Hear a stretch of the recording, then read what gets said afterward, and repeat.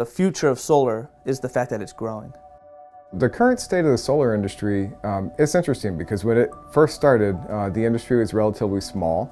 And since 2010, the industry has grown significantly. Solar is no longer an alternative energy. Solar is now mainstream. Uh, solar projects installed in the United States every 100 seconds now. It, it, the price has decreased so much that it's become more competitive than uh, a lot of the traditional forms of power production.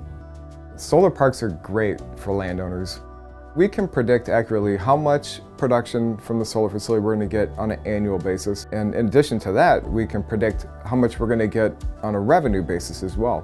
When a landowner signs a lease for a project, they can expect a stable source of income for the entire life of that project.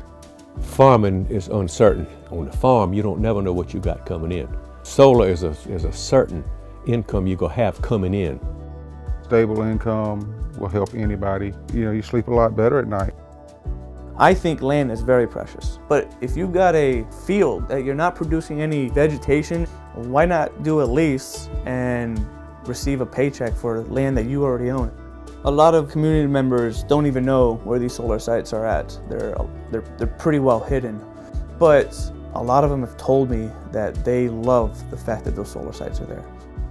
We want to make sure that our local communities um, have pride in what we do Usually when we build a project in the local community, we support lots of other efforts. We, we support not only with tax dollars, um, communities that might not otherwise have a good stream of income, um, but we support with community donations and, and other activities.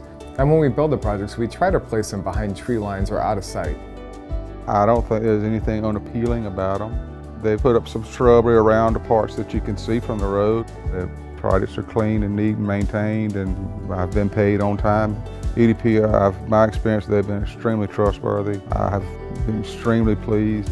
We value the relationships we get to build and develop with our landowners. We want to be seen as a, a partner. Um, we want to be seen as transparent.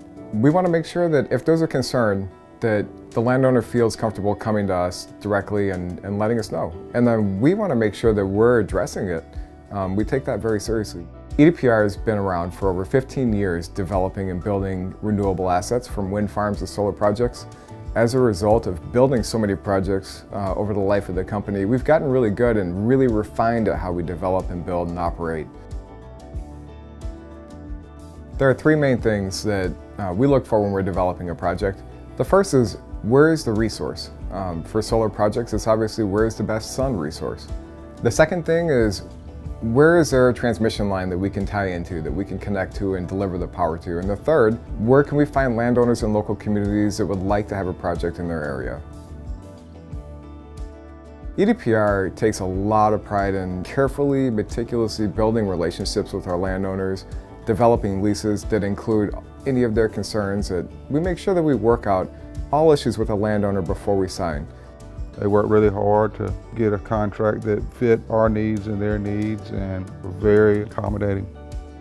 The leases that the EDPR signs with our landowners are often up to 30 years and they typically include an option to extend and this generates a stable source of reliable income for landowners.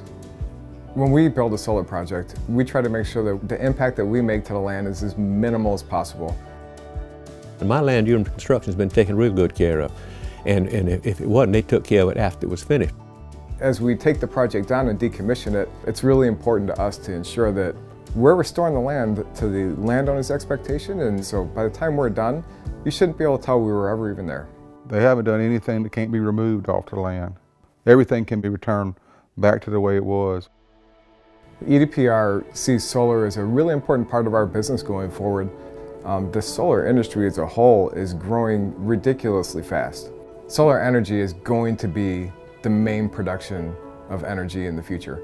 There is more energy to be made from solar than the entire world can possibly consume. It is pretty neat to think that the land we farmed for years is now producing electricity, you know. I never would have dreamed that.